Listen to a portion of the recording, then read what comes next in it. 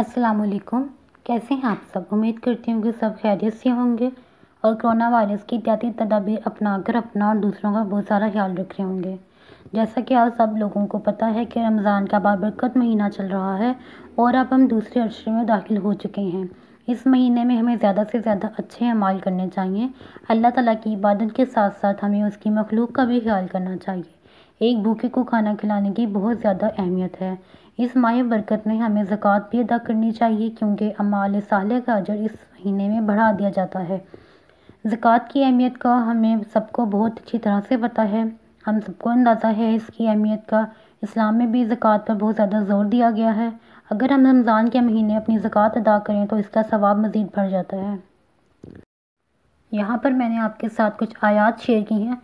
जिसमें ज़क़़त की अहमियत पर ज़ोर दिया गया है। जिसमें अल्लाह ताला ने हमें बताया है कि हमें ज़क़़त अदा करनी चाहिए और इसकी अहमियत के हवाले से चंद आयात मैं यहाँ पर शेयर कर रही हूँ। मसारफ़ ज़क़़त भी कुरान में बयान किए गए हैं। मसारफ़ ज़क़़त से मराद वो लोग हैं कि जिनको हम ज़क़़त दे सकते हैं या जिनके लिए हम अपना ज़क़़त का पैसा इस्तेमाल किया जा सकता है।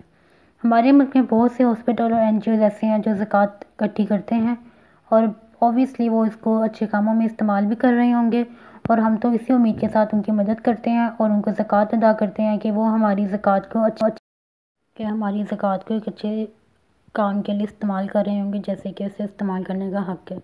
इसी तरह से हमारे मुल्क एक बहुत ही मशहूर और मरूफ हॉस्पिटल शोल खानम जिसको सभी लोग जानते हैं। कैंसर पेशेंट्स के लिए बहुत अहमियत रखता है। यहाँ पर कैंसर पेशेंट्स का इलाज किया जाता है और ये एक हॉस्पिटल होने के साथ साथ रिसर्च सेंटर भी है। एक इंटरनेशनल स्टैंडर्ड का हॉस्पिटल है। और ये फ़ंड्स पे चलता है और ये गरीब लोगों को मुफ़्त सहूलियात देता है। तो हम सबको चाहिए कि हम शोका खानम को सपोर्ट करें, ताकि वो कोरोना के पेशेंट्स को और कैंसर पेशेंट्स की हेल्प कर सकें।